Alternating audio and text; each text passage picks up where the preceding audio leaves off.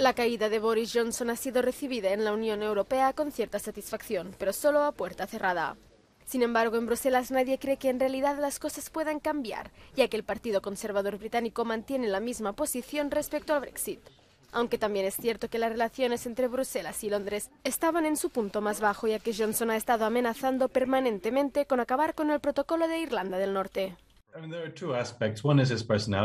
Hay dos aspectos. Uno es su personalidad, que es inconsistente, miente, no cumple los acuerdos. Es muy difícil para todo el mundo tratar con él, incluido su propio ministro de gabinete. Eso no es algo que solo le pase a Bruselas. Por otro lado, también tuvo un enfoque muy combativo del Brexit, porque entendió que mantener la coalición del Partido Conservador y los votantes juntos requiere una línea dura sobre el Brexit, y la forma en la que lo interpretó fue ser lo más agresivo posible con la Unión Europea.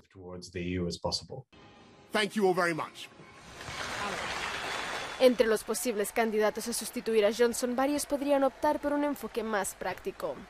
Pero no todos. La ministra de Interior, Priti Patel, es probablemente la persona más interesada en la confrontación y por ella sería la peor candidata desde el punto de vista de la Unión Europea. El mejor candidato es más abierto. Bastantes de ellos podrían traer la vuelta a la normalidad en las relaciones. La Comisión Europea evitó valorar la marcha de Johnson tras ser preguntada por Euronews. Y para la República Checa, país que en este momento lidera el Consejo, hay esperanzas.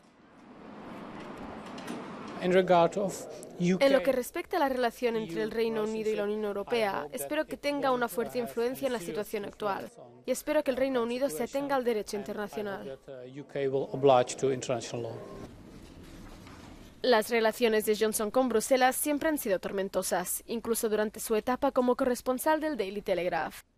Fue uno de los grandes promotores de la campaña pro-Brexit y desde que llegó a Downing Street su permanente cuestionamiento de los acuerdos no hizo más que empeorar las cosas. Pocos le echarán de menos en Bruselas.